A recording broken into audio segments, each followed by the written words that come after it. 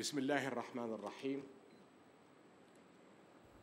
الله يعطيكم العافية وطبعا مسيرتنا في المئوية الثانية مسيرة طويلة.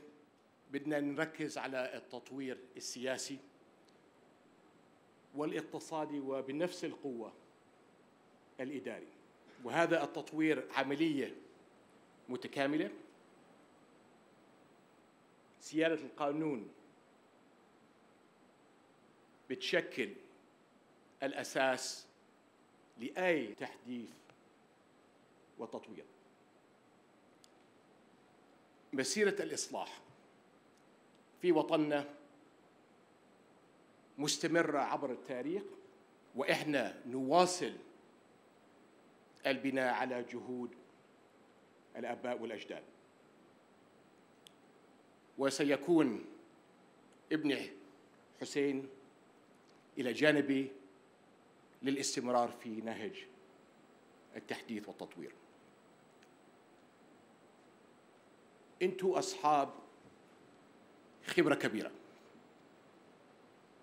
وبتمثلوا مختلف الأطياف والتوجهات السياسية. وهذا راح يكون له انعكاس إيجابي إن شاء الله على مخرجات اللجنة أمامكم مسؤولية كبيرة. هدفنا تطوير المنظومة السياسية. وصولا للحياة البرلمانية والحزبية. اللي بتناسب الأردنيين ومسيرة الأردن الديمقراطية. لازم نحدد الهدف النهائي من عملية التطوير السياسي. ويكون في خطة واضحة لتحقيق أهدافنا ونوضح لكل المواطنين لوين إحنا رايحين.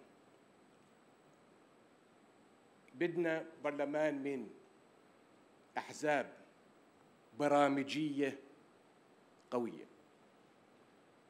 ولا بد أيضا من إيجاد البيئة المناسبة لتوسيع قاعدة المشاركة السياسية ودور الشباب والمرأة في الحياة العامة مثل ما أكدت برسالتي. أنا حكيت أكثر من مرة. الأبواب مفتوحة لكل الأفكار والمقترحات. وما نريده الجلوس على طاولة الحوار. وهون بدي أوضح. تكون مصلحة الأردن.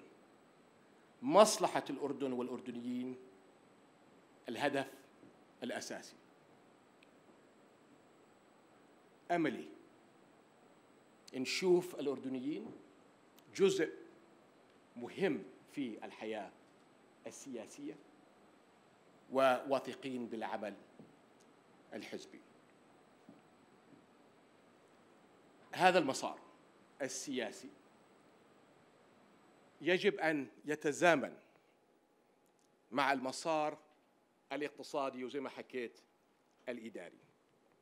وأنا طلبت من الحكومة أن تقوم خلال الأسابيع القادمة بوضع برنامج عمل اقتصادي واضح بجدول زمني للعامين القادمين.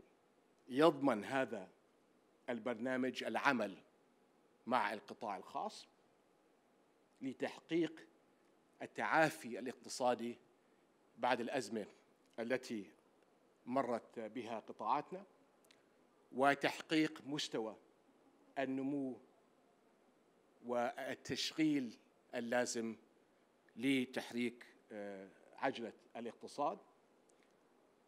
والمشاريع التنموية وتحسين الخدمات المقدمة للمواطنين بشكل ملموس. كل التوفيق بمهمتكم الوطنية. أمامنا شغل كثير مع المؤسسات الأخرى. كل الدعم مني لكم بجهودكم وشكرا والله يعطيكم العافية.